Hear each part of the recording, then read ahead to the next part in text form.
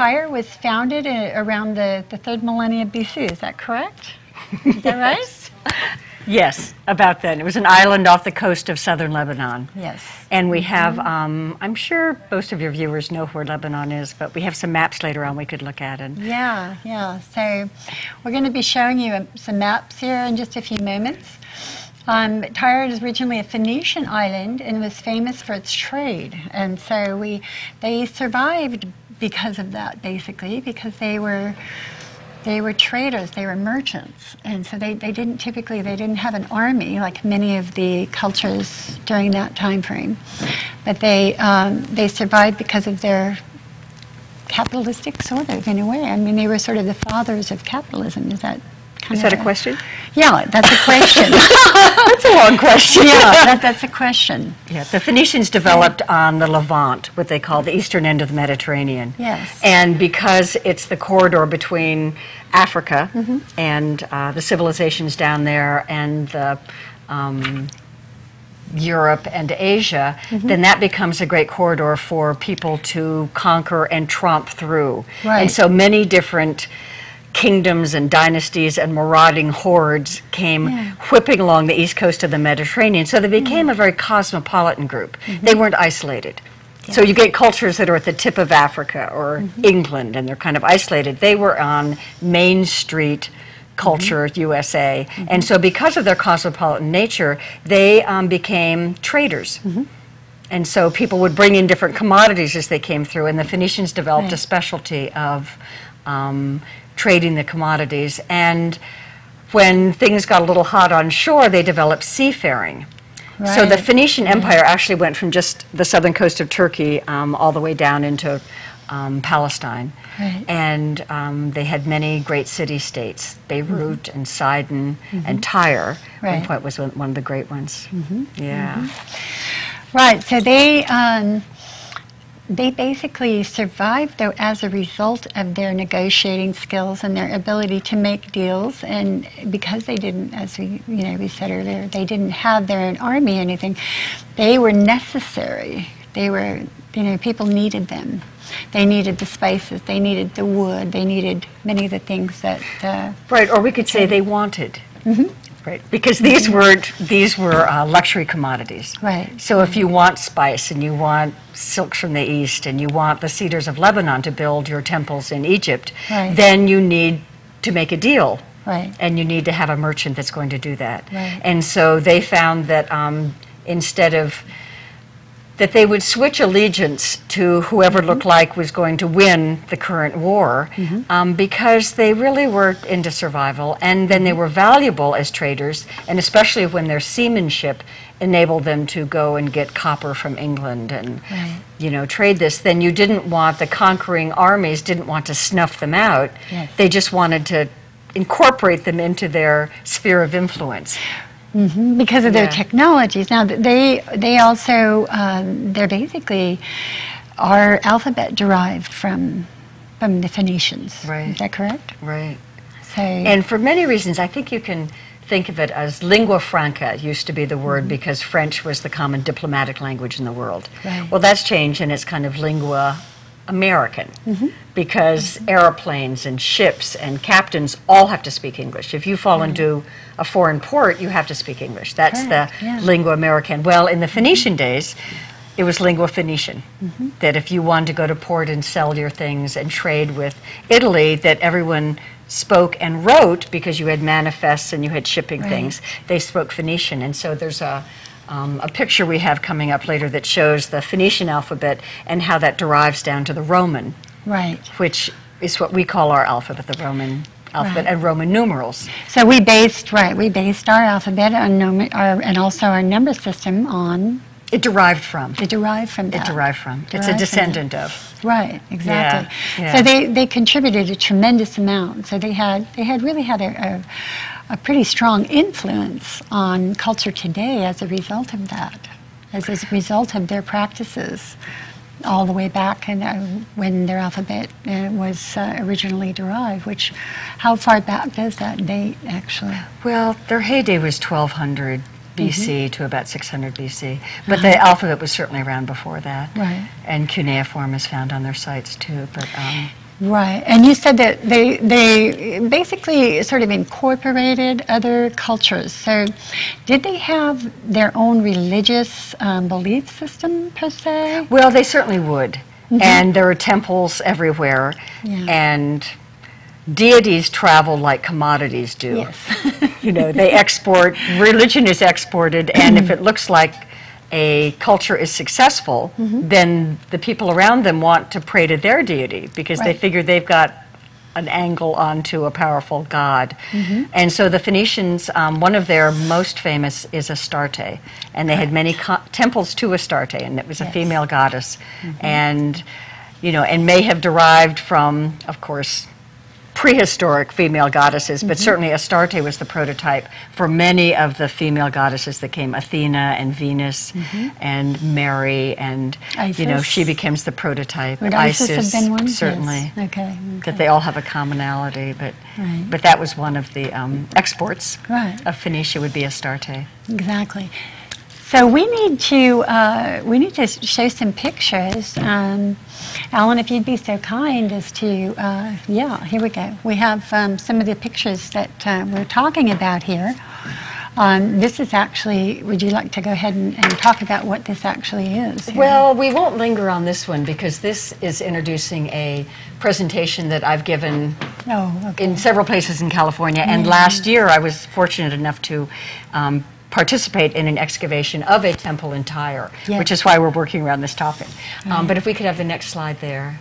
Um, here is for orientation, that's the eastern end of the Mediterranean on the left. And on the right, you'll see a close up. Tripoli is the northernmost big town in Lebanon, and Tyre, you'll see down there in the south. But that distance is the same as from the Golden Gate to Monterey. Interesting. Just to give us all a perspective, sometimes so much is happening in the Middle East, you think it's some huge country. It's very small. It's a very small, there's mountains on the inside. Um, the coast, then, you can see why the Phoenicians were sea oriented because they're sitting on the coast like that. So um, let's go on to the next slide. And um, So here's modern Tyre. Now, Mm-hmm. um, the little knob on the end of that peninsula is the island of Tyre. And um, we can talk a little bit um, about how it became a peninsula Mm-hmm. um, because islands are very defensible. So another Mm-hmm. reason that these Tyre survived so many conquering armies marching up and down the coast is because they were on an island and they had the ships. So pretty much the army couldn't get out. And this changed when Alexander the Great came through. right, so and this was in around the 10th century, somewhere BC. No? Alexander's 333. 333. Okay, okay. So, Yeah, BC. um, so right about that time, he did what exactly? Well, let's see what the next slide is. now, the next slide is about trade. So we could come back to it, or we could talk about trade now. Or what do you want to do? Well, I- yeah, let's go ahead and, and talk about that. Just quickly talk about how you know he what he did to actually change Well, there's a- So, um, let me see. Do one more slide here. Ah, that's the trade. We'll come back to these. Okay. What Alexander did is he marched down the coast and he looked at this island that was holding off. Right. And he was infuriated. He'd already conquered most of the known world and he wasn't used to defeat. Yeah. So he had his army build a peninsula, a causeway out to this Exactly. island. He built a causeway out to Tyre, he marched his army out, and he conquered it. Mm-hmm. Now, conquering it means they had to bow down and kiss his ring, and then he let them continue trading. Mm-hmm. But what happens, for those of you who live on the coast, know Mm-hmm. that if you built a berm out into the ocean, the sand is going to build up on Mm-hmm. it. So it started as a causeway, developed into that big peninsula we saw on the earlier slide. Right, right. And now the town of Tyre could get bigger, and during the Roman period, Mm-hmm. the Hippodrome and all those Roman um, cities grew up on that peninsula. Right, and they actually built two port cities. Is that correct? Um, at that point, was that at the point that they did that? No, Phoenicians always have two ports. Oh, okay. That's interesting to know. Because they're traders, and the winds can blow from the south, and the winds can blow from the north, Ah, and you need a interesting safe point. harbor. So there's always what they call the Sidon port, which is your north port, and then the Egyptian port or the south port. right. Okay. And so you can move your ships around if the winds are blowing. So the island always had very, very clever. They were very clever. yeah, they were clever. It sounds like they're very, very intelligent people. So, Well, so let's uh, go back. If we can get back to um, the slides that we had earlier, uh, a couple slides be So before this is the, we're talking about, There we go. oh, good. Okay. The conquering of Al. So this is Alexander's empire, 333 BC. Right.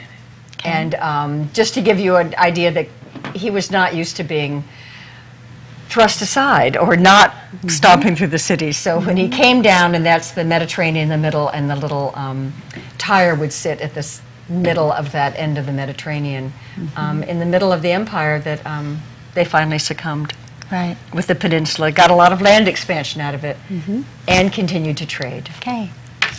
Alrighty, well, um, we're going to wrap up this segment, and I think we have a word from our sponsor coming in in a few moments here.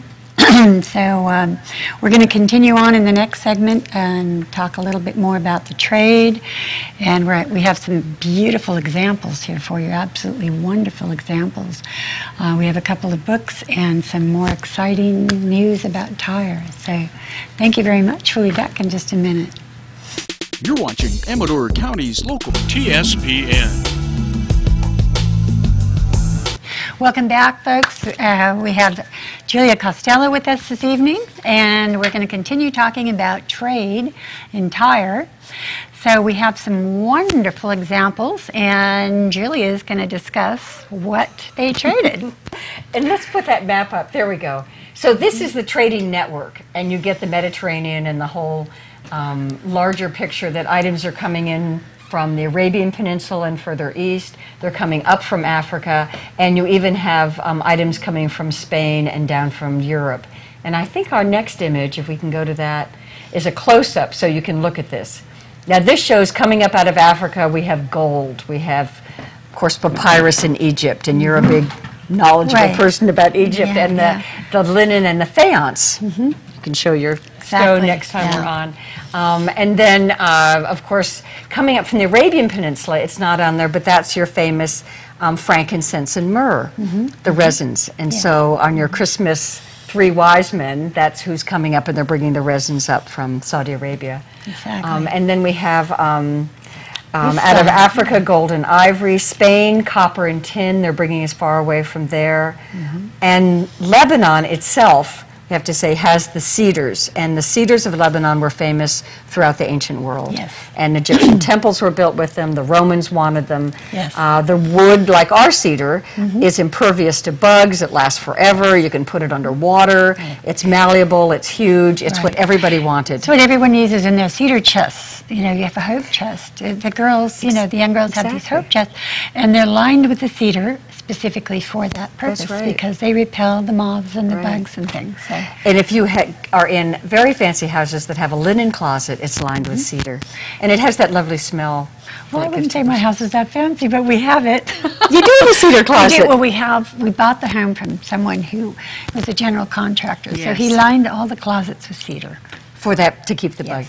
So anyway, the cedar is very famous, and that was the big commodity of the Phoenicians. So they shuttled other people's goods around, but from the homeland came cedar from the mountains of Lebanon and the purple dye. Yes. And we should talk about. So we have heard purple is the royal purple, royal dye, and people go, why is purple royal? And it's because it was a color that's very difficult to get out of nature. And the Phoenicians figured out how to do it, and it was a murex shell. And murex shells are little univalves. and here I have a, yeah, a picture. We have a little shell here. a You little can see it. tiny, tiny shell. Little tiny, tiny shell. And this, um, you would boil thousands and thousands of them. And the little bodies inside would make this purple dye. And I was on an excavation 30 years ago in Lebanon, and it was a um, port city. It was in Sidon, the big port of Sarafand. And we found these great oyas, these great rims of these huge grims, and about 10 centimeters down from the edge was a purple stain.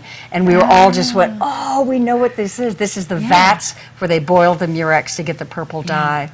And it was so expensive then the kings of Europe reserved it for royalty. So it was called royal purple. And it was literally, it was literally extremely expensive. And, and from the research that I did a little background, it said, you know, one ounce was typically, uh, you know, I mean, just a, a tremendous amount of gold was traded for one ounce of this stuff. So, So they made a very, they marketed mm-hmm. this, mm-hmm. this discovery of theirs, and of course, they kept the secret mm-hmm. of where it came from. Now, the result of that is there are no, there are two species of murex shells, which I cannot just rattle off, but this species, species that made the purple dye is no longer existent.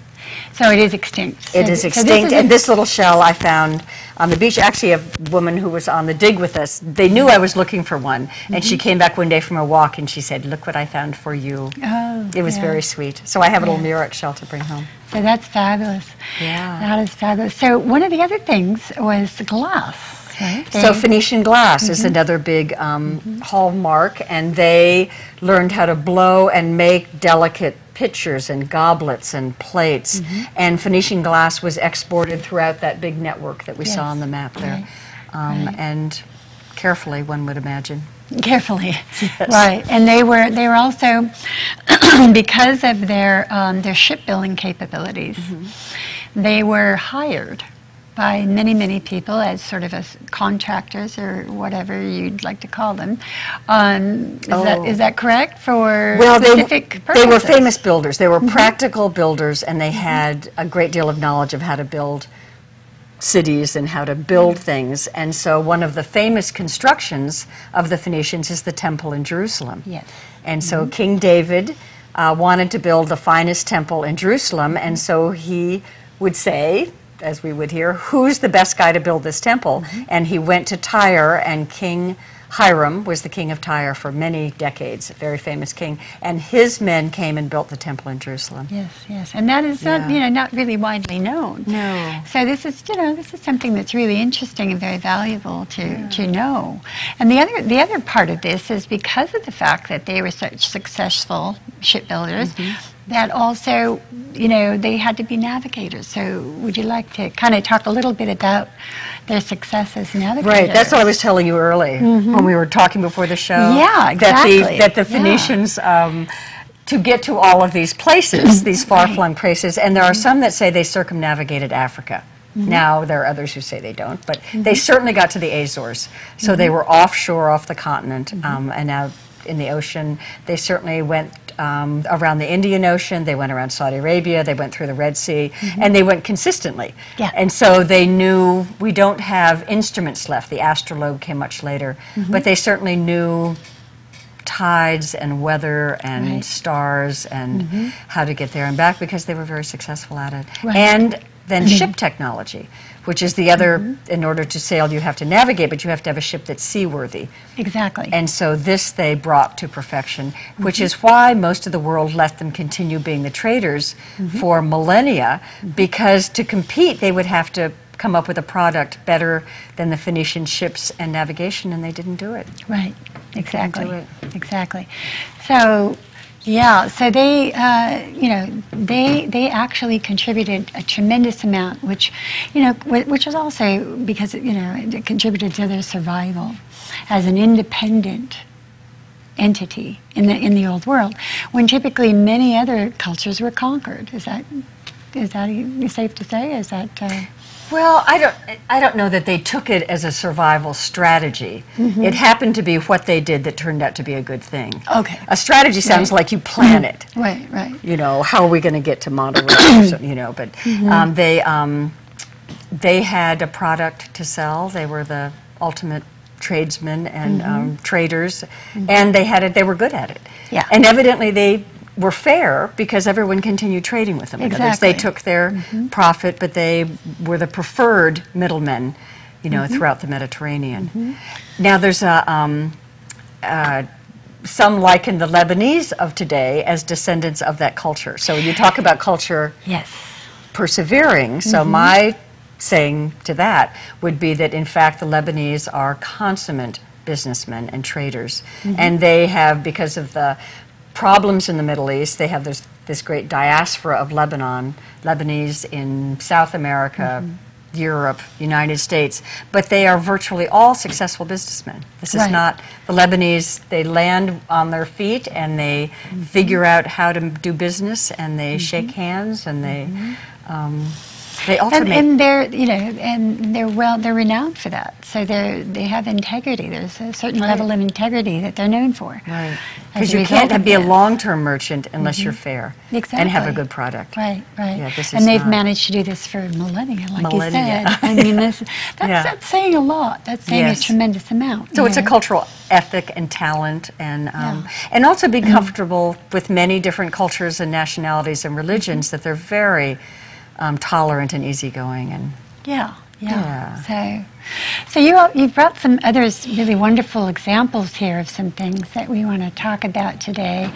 So I I really I just am just drawn to this little wonderful. Wonderful, beautiful piece here. And I'd like you to tell us a little bit about this. well, this is the hand of Fatma. Ma- Fatma was Muhammad's Muhammad's oldest sister, Mm-hmm. but it's a female deity. It is everywhere, not only in Lebanon, Middle East, Pakistan, all throughout the Muslim world, and it's a Mm-hmm. sign of um, good luck and help.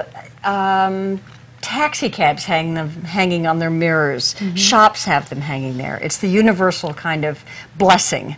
Right. And likening back to our talk about Astarte and the Phoenicians, this Mm-hmm. is the women deity again. there we go. Yeah, Yeah. Mm-hmm. And so it's persevered.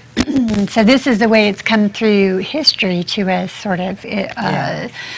It sort of uh, stems from the female deity, the idea of the female deity. Right. So, and the strength and the and also I think usually all the female de- deities are quite approachable. They're not um, the Zeus throwing lightning bolts from on high. They're people Right. you can ask a favor of Right, and tell right. your problems to and ask them to intercede for you. that's That more of a thing. nurturing idea, sort of a, you know, like like women are known for, Right. basically. Or they might listen. Yeah. Sorry, there we go. I actually hear you. So anyway, this is great fun, um, and you know it's a good thing to bring back, and I bring it back for friends. And this is really special. This, is, a lovely bowl. The um, in the modern world, the hammam is the um, oh, I mean, the um, The back, wanna say got some beautiful markings in the back as well. it's the sauna. It's the steam bath. It's the steam bath of the Middle East, and these are the bowls used to pour the cold water of yourself and rinse yourself. And, um, So they're very traditional. Yeah, very traditional and lovely. Uh, the designs are just absolutely just lovely. And they're all the way around, and, and just it's just beautiful, absolutely beautiful piece. So we have a couple of books, and uh, we're going to talk about those when we come back. And we're actually going to get into the dig, which I'm really looking forward to. Great. So this is I, I originally met you at the library. Yes. And I've been just dying to have viewers see and, and hear about this ever since I met you. I'm so glad you asked. So Yeah. um, I'm really excited about looking into, into this next segment. So we'll be coming back in just a few moments. We have uh, we have some messages from our sponsors, and uh, we'll see y'all in just a few moments. You're watching Amador County's local television network, TSPN.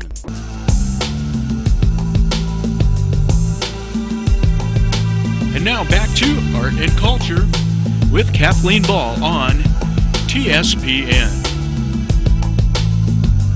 A terrible period of war and So welcome back, and uh, we have Julia Costello here, and we are going to talk about the dig.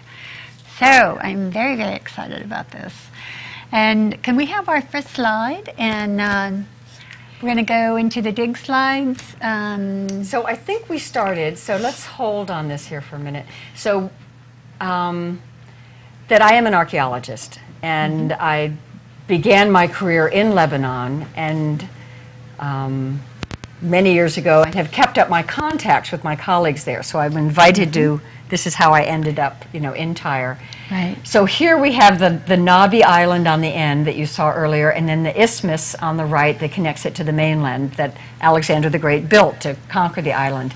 But you'll see here the North Sidonian port, the little arrow on your left, and the southern Egyptian harbor, so they can move the ships around whichever way the wind blows. Mm-hmm. And the Al Fanar Hotel is where our dig crew stayed. There are mm-hmm. 14 of us. Uh, foreign diggers, and about 40 lo- local workmen. So we were put up at the hotel, and our excavation area is on the other side of the island. This whole island is not a mile across. I mean, this is a tiny little area. So let's see the next slide. So in the 1960s through 1975, and that's when the war in Lebanon started. Between 1975 and 1990, Lebanon is closed. But these beautiful Roman parts of Tyre had been excavated, reconstructed, interpreted, and it was a very wonderful tourist destination. Mm-hmm. So next slide. Then the site is abandoned. The Lebanese war, the Israelis invaded it, 75 to 90. Poor southern Lebanon had a terrible time. The site was never bombed or particularly hurt, but it was overgrown. And you can see these are great bamboo like reeds that took over the site. Next slide, please. So there had been um, a rumor in the archaeological world that a temple had been found just before the war. And then everyone left the site, the reeds grew up, and my friend Leila Badre, on the left there, um, was pushed out of her site in Syria, where she'd been excavating for 30 years because of the war in Syria. And she said, I'm going to go look for that Phoenician temple that is rumored. Next slide. And here is the ground plan, the great colonnade, that line through the beginning, but, um, and the excavated area that the tourists go to, and this little blank spot down there was where they thought the temple might be. Next slide. So here is a picture now of that map that you just saw. There's the big colonnade um, slashing down through the right, and the big overgrown bushy area is where we're going to dig. To the left of that, all the white that you see is a Muslim cemetery. So we're not going any further in that direction. We're going to have to dig on this spot. Next slide. And if you're wondering how I got lucky enough to go, it's the Old Girls Network. 1972, there's me in the middle with a scarf, and Leila, the director, and our friend Martha Joukowsky, who has led excavations at Petra for the last 20 years. And I mm-hmm. participated in digs down there, a couple of them. In Petra? Next slide, in mm-hmm. Petra. Mm-hmm. Yeah. So here's our workmen clearing the site. It was arduous, it was hot, it was humid, and we had to clear off all this brush to even see what the remains looked like. Next slide. And the walls began to emerge. And now it looks it looks chaotic, so you have to start figuring out what's going on. Next slide, please. And part of it is just to pick up all the stones that have fallen because you uncover these stone walls, and if you don't take care of them, they begin to slough in and to fall in. So we had to clean all that up, map the site, identify what was what. Next slide. But emerging in the middle, now this is a plan view and all the little stones have been drawn, and the blue area is the temple. And indeed, we found this temple that had been referred to in 1975. Next slide, please. And here is a picture of it. It's a beautiful big rectangle, This is amazing. It's This is about- amazing. So exciting. 75 feet long, 30 feet wide. Um, next slide.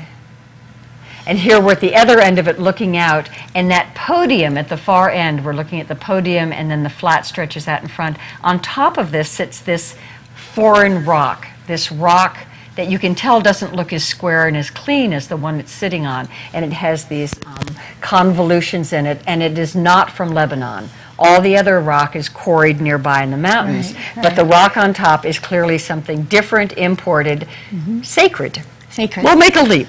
We'll say Something it's sacred. sacred, Something yeah. sacred. Okay. Next. So what, what would Oh, you say yeah. the usage would be for that? Uh, What, what We just don't. It was the first season, and it would like to just leap and speculate. But one of the things mm-hmm. we can go to that next slide. We have a wonderful technician, Sarah, who's doing this. Mm-hmm. Um, is to look at other temples. yeah, right. Look at comparable temples and say, mm-hmm. well, what were they doing? And the most famous is probably Amrit in Syria, and they have a water feature.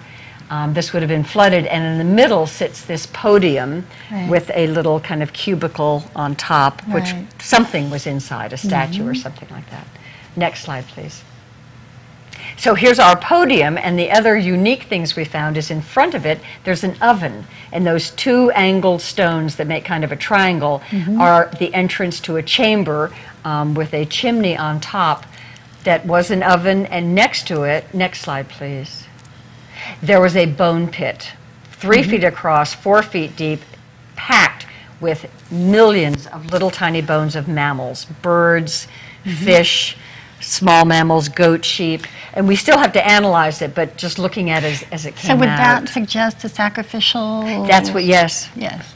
And the other archaeologists who specialize in this part of the world, they right away they said sacrificial bone Mm-hmm, pit. And the director tries to be cautious. You don't want to leap to conclusions. Of course but not. We all called not. it the sacrificial bone pit by Right. the end of the season because Yeah, that seemed right. like what it was.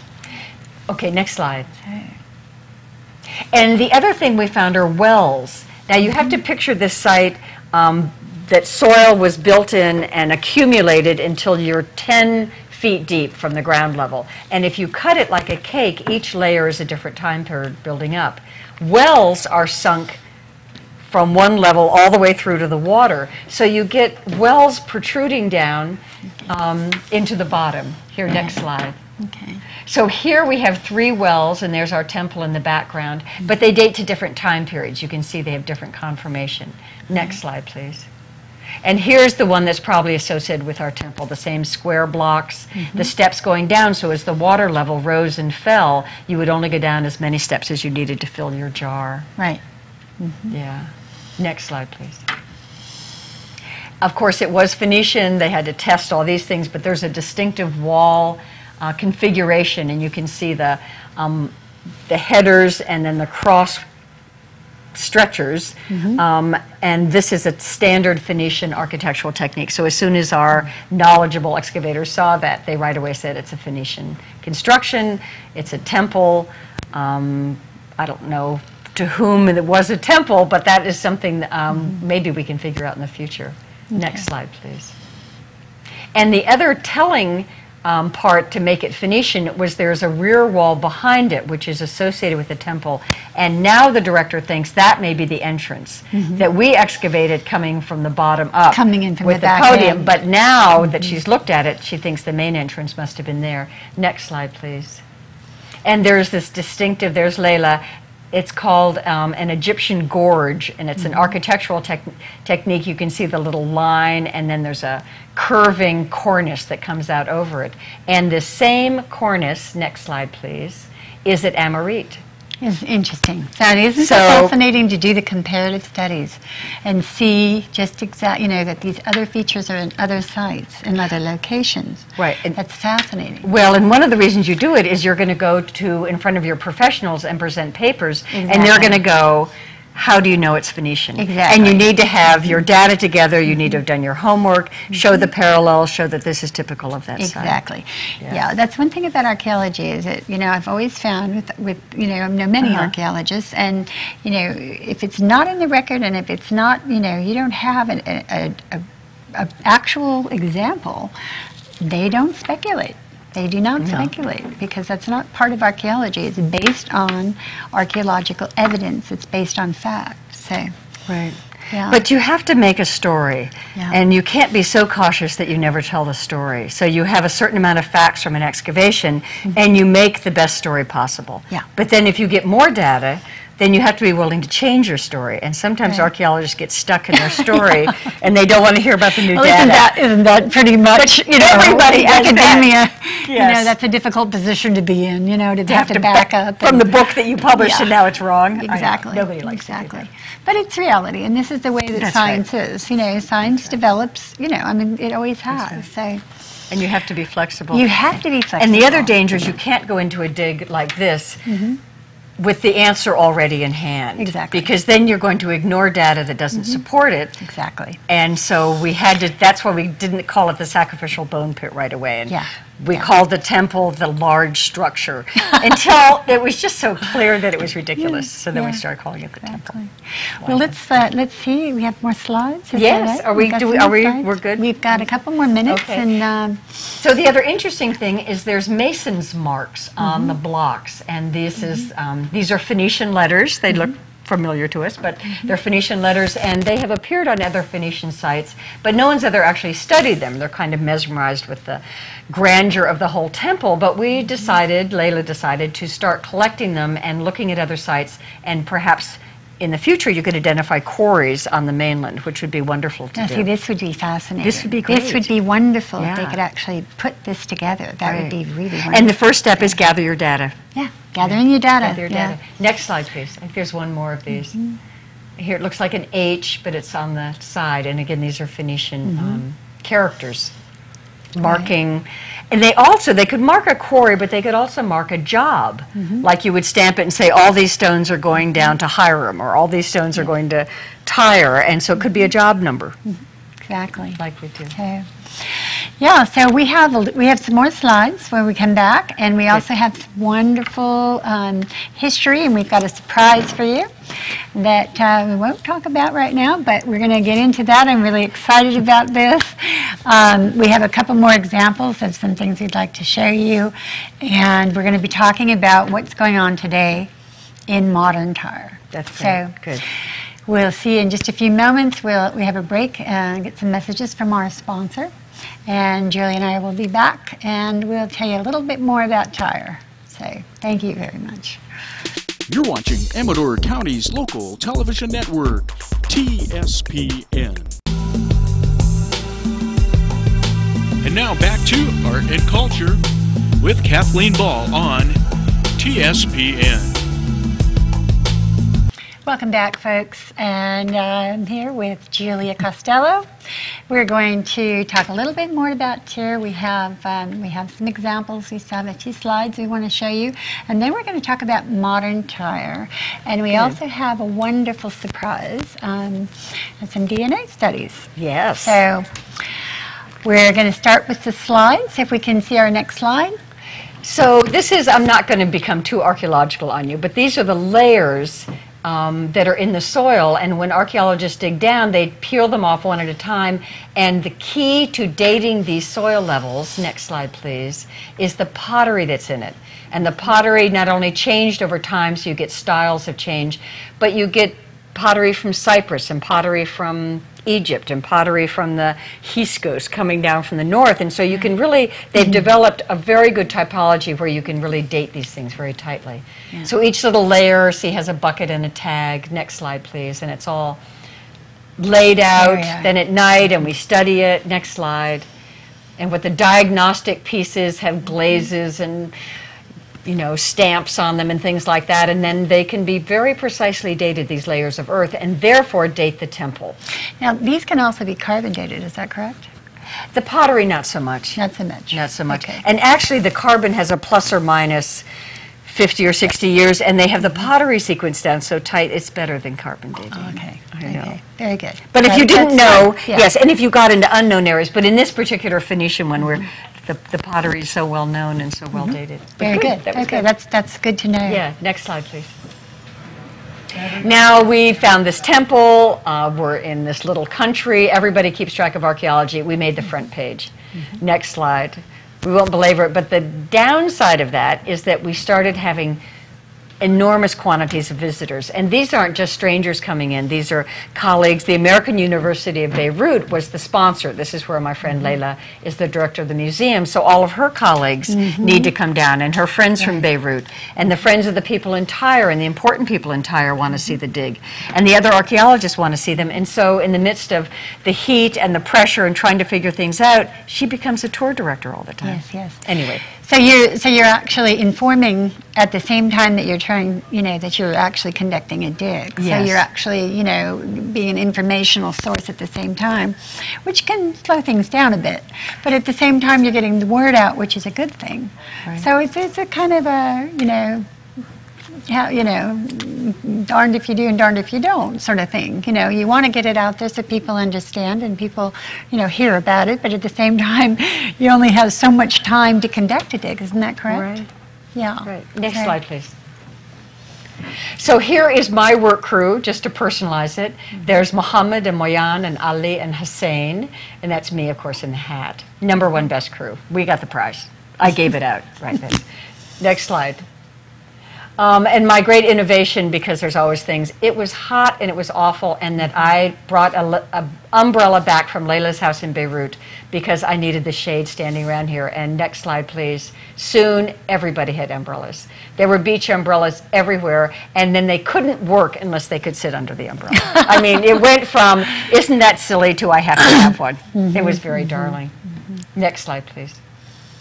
We stayed, the crew was put up um, at the Al Fanar Hotel. Al Fanar is lighthouse, and you'll see there on the right in the upper picture is the ancient lighthouse, dating back to Crusader days and probably back to Phoenician days. Now, isn't that to negotiate fascinating? that court. So that particular lighthouse dates back to the Crusader days. That's, Yes. that's amazing. The foundation is Isn't Crusader. that amazing? Yeah, yeah. Absolutely fascinating. Fabulous food. Lebanese are famous for their cooking, and we were giving. We went swimming in the afternoon. Had wonderful spreads out there. Mm-hmm. In the morning, you felt like you were um, in purgatory, and in the afternoon, you were on vacation. so every Mm-hmm. day. Next slide, please. Now, this is our. Now, this is our surprise, and I want you to go into a little bit of the background of how this, Mm-hmm. why this gentleman is on this slide, and why is he important?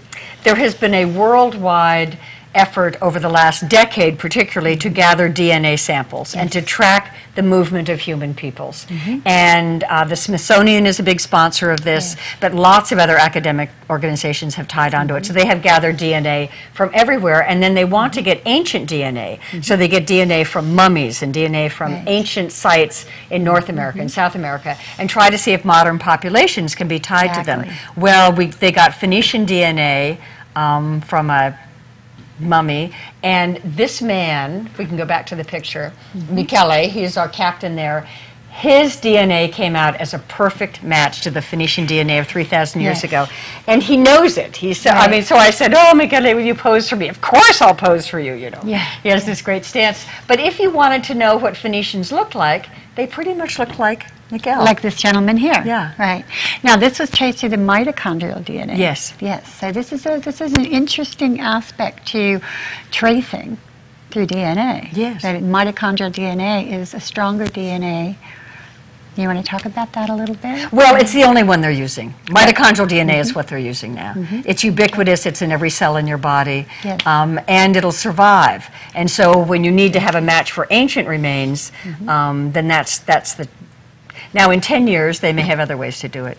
But right now, that's when you trace humans around the world, you're using mitochondrial DNA. But isn't that wonderful that you're able to meet this gentleman and, Yes. and that here, you know, this whole thing unfolded while you were there? I And mean, if I you go on their website, you know, and look this up, his picture's there as a Yeah. portrait of Miguel as the Phoenician match, and he was right there. I That's thought it fabulous. was great fun. Fabulous. Let's see what the next slide is. We're going to run out of time for all Mm-hmm. our topics. We stayed in a wonderful facility. There's lab, there's work at night. These team projects are great. Many of you may have gone and worked on expeditions, and it's just you're with smart people and you're all working on a problem. Mm-hmm. Next slide. And then we're going to talk about modern Tyre Yeah, a little yeah. bit. We are and so the modern modern city, of course, it's expanded. There's the isthmus. Um, Mm-hmm. Next slide, please. It's the bustling port. There's the North Port, Sidonian Port, and they go out every day and go fishing. The Eastern Mediterranean is not what it used to be, um, so it's not to pretend there's the same abundance of fish. Um, but the men hang out in the port and play checkers and um, have the life there and the fish. You buy fresh fish, and when we got fish for lunch, it was fabulous. Next slide. Um, and the ancient city has um, old streets. Tyre has built up, and we saw the excavated area, but there's parts of Tyre that aren't excavated, and underneath all these buildings will be layers.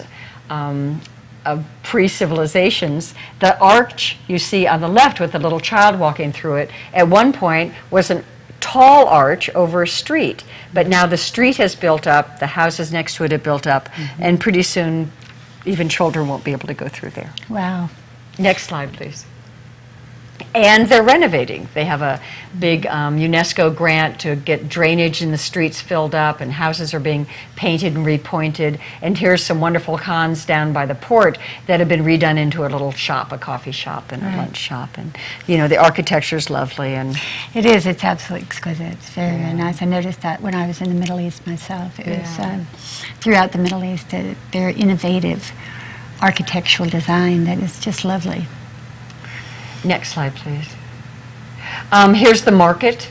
There's typical souks um, in any, typical of any souk in anywhere in the Middle East, and there's people having coffee, and there's a mix. Uh, Lebanon is very cosmopolitan, so it doesn't the um, clothing where there's one woman fully um, chadored, as you can see on the right. There's a young woman in shorts sitting at a table with her friend. So there's a great mix and tolerance for lots of different diversity. Next slide, please. And the spice. Dresses, spices, women shopping. Next slide. It's a vibrant I modern just love this slide. You do. I really love this I slide. know. This is great. I love taking it. Of course, the woman on the left is not the mannequin. She's setting up the shop for the day, but just to show some clothing. I mean, this is what's for sale. This is typical modern Tyre. Is that correct? Yes, Am I- well, in the shop before, we had the traditional dresses hanging, so everything is there. Yeah, So it's a mix. Right. Yeah, it's a mix. Next slide, please. And here's uh, the women of Tyre on the left, um, the two um, older women. Uh, there's a Christian woman with the scoop neck, and but her Muslim friend, um, and the edicts say you had to be covered from your wrist to your toes. She managed manages to do that in quite a fashionable style. She does. She's She does. in the way she So we her. can't stereotype mm-hmm. exactly how mm-hmm. Mm-hmm. these women go. She carries it off. The two little girls, the sisters on the right, um, in 19, in 2006, the war in southern, the bombing stopped from Israel in southern Lebanon. So these two little girls have grown up never knowing war Ah. at their age, and my hope is they can continue. Wouldn't that be wonderful? Wouldn't that be wonderful? that would be really lovely. Yeah, that they have not known that in their If lifetime. that could happen. hmm Next slide, please. Here's some of our young men about town. I don't know if you can read. And if you notice, if you notice, we have um, the young gentleman on our right has a very uni- universal clothing style he has his that we that we see here in the states as well. Right. But the brand So- name Jordache is shown off So there. they're very up to date. These kids are Facebooking. They're you know they're on their, their cell phones and they're doing everything that the you know that our American children are doing today. They're regular folk. Absolutely. Yeah. Mm-hmm. Next slide, please. Beautiful. Beautiful. And the Corniche at Tyre, so this is the westward facing. It's a public road. Mm-hmm. It's public beach. At nighttime, people pour out and play ball and smoke their Mm-hmm. pipes and um, have picnics out there. And it's public access, and they still love the sea. They're Right. still oriented Right. for the sea. Okay. And lastly, just real quick, you know, I'd like to go and mention you weren't in Lebanon by accident. Your Ah. grandfather, Right. which is what this book is about, um, Arabian Knight is the title of this book. And this is your grandfather. This that is my grandfather by Thomas Lippman, who's a wonderful historian. And grandfather was born in Sidon, just north of Tyre, Yeah, um, to missionary right. parents who ran schools there. And they, his father was born in Lebanon. Right. So we go back to the 1850s. The family does. Right. Um, and he um, went into the um, diplomatic corps. He was a PhD in Swift and went in, in the OS, ran the OSS in World War II, and was the first ambassador to Saudi Arabia. Yeah. So he's what they call an Arabist. Right. So it was in, in you know, it was a family. Uh, It's a family, affair. interest. Yes, and I was coming in to be the archaeologist. Yeah, and so that's wonderful. Uh, and Yes. It's absolutely fabulous to have you on the show, and Oh. it's just been wonderful. Thank you and so we, much. We're looking forward to maybe having you back and talking about Petra possibly at a later date. But thank you so much, and uh, we'll see y'all later, folks. And I hope you enjoyed the show. We will uh, we'll see you next month with a new show, and we're going to have a another gal coming in next uh, next month, which will be a surprise. So um, we thank Julia for coming in, and uh, we'll see you later. Thank Have you a so good much. evening. Yeah. You're watching Amador County's local television network, TSPN.